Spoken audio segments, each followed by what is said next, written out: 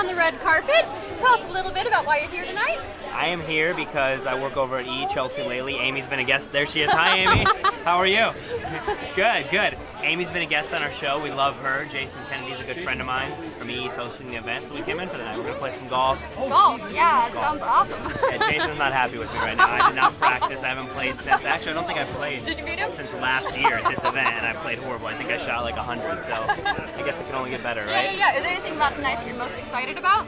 I mean, honestly, it's nice to see Amy. I really only get to see her once a year now. And then last year we went on a tour of the Shriners Children's Hospital, so that was really, really cool. So it's exciting to be there. I mean, you know, anytime you can go out and have fun, have drinks, talk with friends, and support a good cause, it's like, I'll do it every night if I could. Yeah, yeah, yeah. Well, looking You know? forward to celebrating the evening with you. For sure. Yeah, Nice to meet you. Yeah, nice to meet you. I'm gonna too. grab my drink now that we're Yeah, done. yeah, yeah. Sounds good. right, Bye. thanks.